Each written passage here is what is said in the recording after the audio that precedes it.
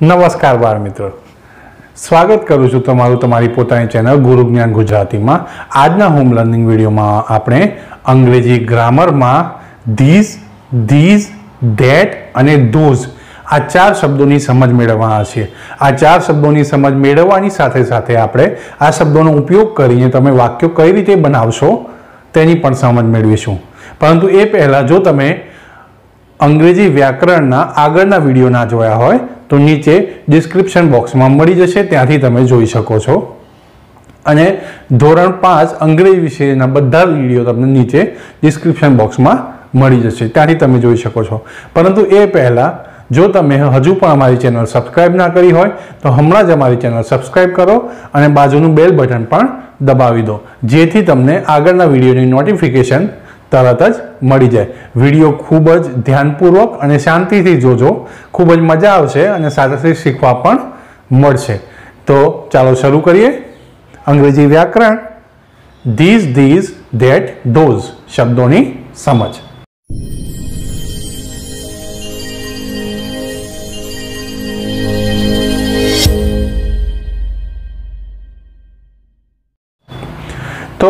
ગુજરાતી વિષયમાં આપણે કોઈ પણ વસ્તુ દર્શાવતી વખતે જો નજીક હોય આપણી, તો આ અને દૂર હોય તો પેલું. આ શબ્દોનો ઉપયોગ કરીએ છીએ. દાખલા તરીકે, મારી પાસે આ પેન છે. તો મારી નજીક છે, મારી પાસે છે, એટલે હું કહીશ કે આ પેન છે. તો અંગ્રેજીમાં નજીકની વસ્તુ હોય અને એક જ હોય, તેના માટે ધીસ શબ્દનો ઉપયોગ થાય છે. તો મારી પાસે આ એક પેન છે અને મારી નજીક છે એટલે હું કહીશ ધીસ ઇઝ અ પેન આ પેન છે. અહીંયા એક જ વસ્તુ છે અને મારી નજીક છે. એટલા માટે આપણે ધીસનો ઉપયોગ કરીએ છીએ. હવે મારી પાસે બે પેન છે. બહુવચન થઈ ગયા. એક, બે હોય અથવા બેથી વધારે હોય તો આપણે બહુવચન ગણીએ છીએ. બહુવચન એટલે બે કે બે હોય અથવા બેથી વધારે વસ્તુઓ હોય. તેને બહુવચન કહેવામાં આવે છે. કોઈપણ શબ્દનું બહુવચન કઈ રીતે કરવું, તેનો પણ વીડિયો આપણે અગાઉ બનાવેલો છે. એ તમને ઉપર આઈ બટન પર મળી જશે. ત્યાંથી જોઈ શકો છો. તો મારી પાસે બે પેન છે અને મારી નજીક છે. બંને પેનો મારી નજીક છે. એટલા માટે હું કહીશ કે આ પેનો છે. ગુજરાતીમાં આપણે આ રીતે કહીએ છીએ. અંગ્રેજીમાં તેના માટે ધીસ શબ્દ વપરાય છે. This are pens. બહુવચન છે એટલે ઇઝની જગ્યાએ આપણે આરનો ઉપયોગ કરીએ છીએ. અને પેનનું પેન્સ થઈ ગયું બહુવચન. બીજું ઉદાહરણ જોઈ લઈએ. આ સફરજન છે અને મારી પાસે છે. તો અને એક એક જ છે એટલે એક વચન. તો ધીસ ઇઝ એન એપલ. આ સફરજન છે. એક વચન છે એટલે ધીસ વાપર્યું. એક વચન છે એટલે ઇઝ વાપર્યું અને એપલ એટલે સફરજન. તો આ સફરજન છે. This is an apple an કેમ વાપર્યો છે? તો એપલ શબ્દની શરૂઆત સ્વરથી થાય છે. એનો પણ વીડિયો આપણે વ્યાકરણમાં બનાવેલો છે આ આર્ટિકલ તરીકે. નીચે ડિસ્ક્રિપ્શન બોક્સમાંથી તમે જોઈ શકો છો.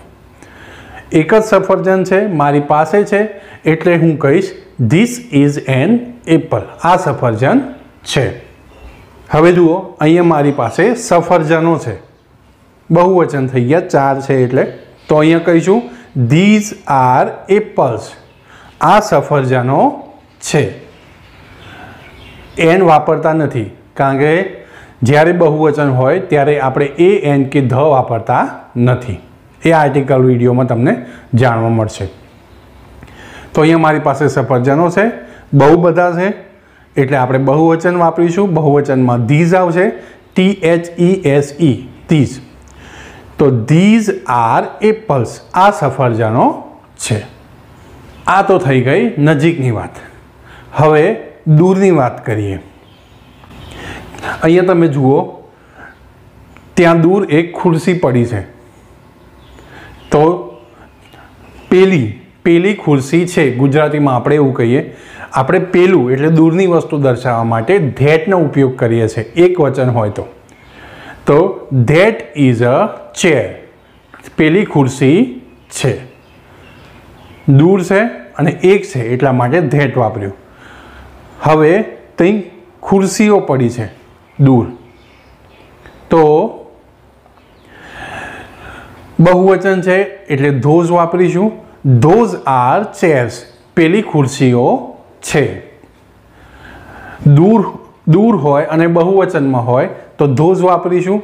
દૂર હોય અને એક વચન હોય, તો આપણે ધેટનો ઉપયોગ કરીએ છીએ.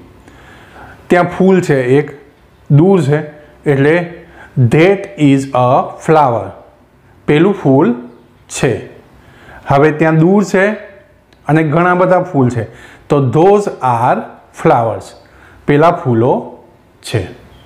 તો આ રીતે તમે ધીઝ ધીસ ધીઝ ધેટ અને ધોઝનો ઉપયોગ કરીને વાક્યો બનાવી શકો છો.